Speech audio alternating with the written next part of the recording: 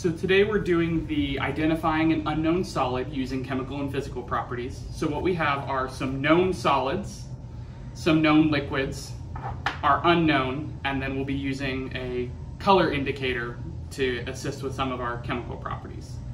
So the first thing we need to do is take one of our known solids, in this case citric acid, add a little bit to each well in our well plate.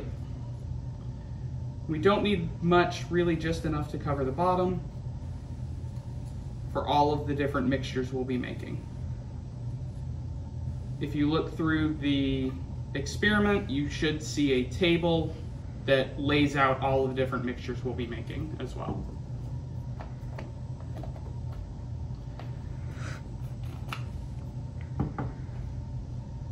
Make sure you don't use the same scoopula or pipette to transfer anything. We don't want any kind of cross-contamination. And one of the other things to look at, especially for as we're adding these things, is what physical properties do we see?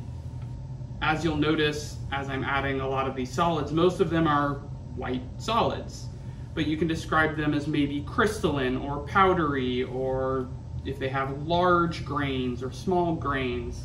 All of those things are different physical properties we could look at that will help us identify our unknown at the end.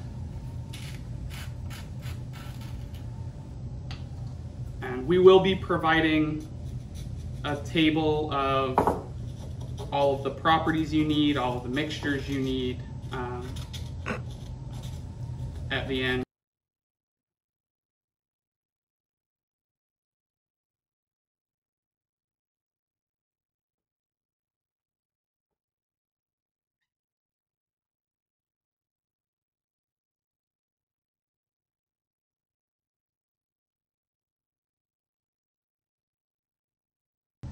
Now that we have all of our solids added and we've recorded those physical properties, now we can start adding our known liquids to see what these mixtures cause. So we don't need, again, we don't need a whole lot of any of our liquids, just enough to really start mixing. So I'm gonna add some water to each of these. Making sure that I've mixed water with each of the solids.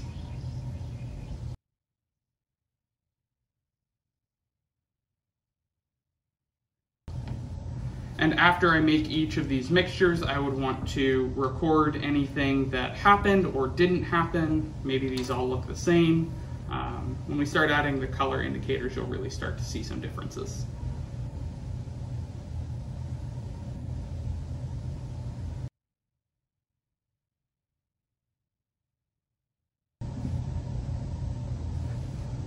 So this one, when I mixed, what is that? Calcium carbonate and vinegar. It started to bubble up. You guys probably can't see that on the video, but it's foaming at the top here. So again, that would definitely be something that I would want to include in my um, mixtures table. And this one does as well, sodium bicarbonate and vinegar. And again, all of that would be included in the data we send you guys. So both of those bubbled. Go ahead and move on to ammonia. Whew. Ammonia has a really strong smell. Again, something important to include in the physical properties table.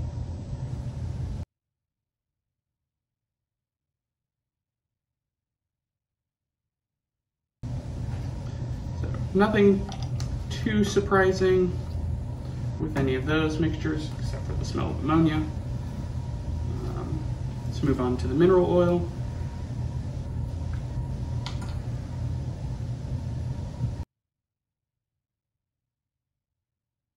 Mineral oil is really thick, uh, doesn't really seem to be mixing with most of these very well.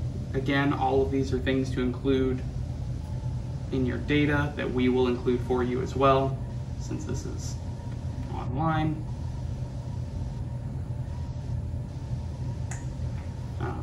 But not a whole lot happened, mainly because mineral oil is very, very viscous, so it just kind of sticks together and sits on top. So that's all of our known mixtures. Uh, the next thing we're going to do is start adding a color indicator and seeing what colors these come out as. So now that we've recorded what's happened with each of our known mixtures, we're going to add our color indicator, which in this case is red cabbage extract. Um, technically, it is an acid base indicator, but that stuff we'll go into later in the semester. Again, as for physical properties, you would want to write down its color. Um, sometimes it has a smell, uh, depends. But this is the important part, is when we start adding this indicator to these mixtures, many of them will be different colors than just the pink purple that it is in the pipette. So again, a lot of this first row has turned different colors and that is all indica indicative of chemical properties that we would want to know.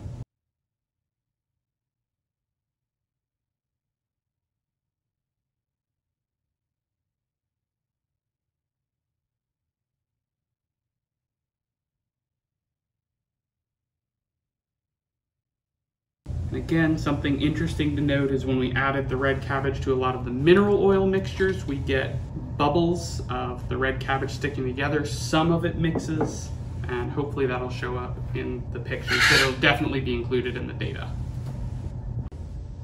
So once we've done all of the mixtures with our known compounds, we'll do the same thing with our unknown. I've already went ahead and added the unknown to each of these wells. Again, you'll want to record the physical properties of this. It is another white solid, but you could describe its texture, its, its granule size, that, that kind of stuff. Um, and I would keep, make sure you have your knowns as well so that we can actually compare back to these after we make all of our mixtures. So I'm gonna do the same thing. I'm gonna add each of our liquids to our unknown so that we can see what happens with each of those. And then I'll be adding our color indicator as well. To see what colors it turns. Again, I'm using the same pipette for the same solution. So this was what I used for vinegar earlier. So it's okay to use that one for the same thing. Um, but you, again, you don't want cross-contamination. You don't want to use the pipette for vinegar in the ammonia or something like that.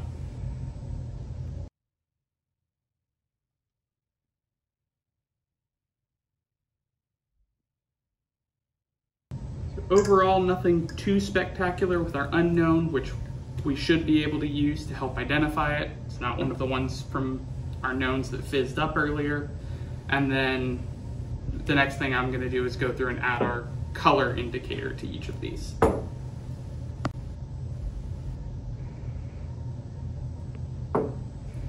And this is really why it's helpful to keep the knowns is now we can just directly compare colors. Um, depending on how you wrote down the colors from your knowns, things might get a little confusing because is one pink the same as a different pink? Did you write it down as a different pink? All of that kind of varies. But now we should be able to visually try and compare what we got from our unknown to one of our known combinations to identify it.